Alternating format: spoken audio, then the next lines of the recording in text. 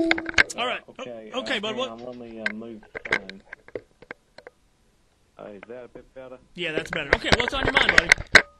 Uh, what's on my mind? Well, I wanted to bring up a couple things that were discussed in the show. Okay, fire away. Fuck you.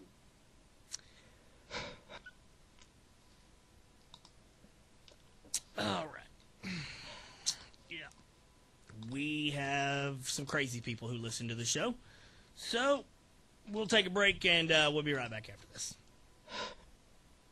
Here a little bit uh, at the pathetic loser, uh, horrible human being of a person. I mean, what kind of just complete moronic loser idiot do you have to be to call up a live radio station and swear uh, over sports? So I'm just I'm just sitting here over the last couple minutes during the commercial, uh, and I'm just sitting thinking to myself, why why do you even get out of bed every day, buddy? I mean, what even what what's right about your life that you would even get out of bed every day if that's the kind of human being that you are? All right. 940-1430 866-313-8991.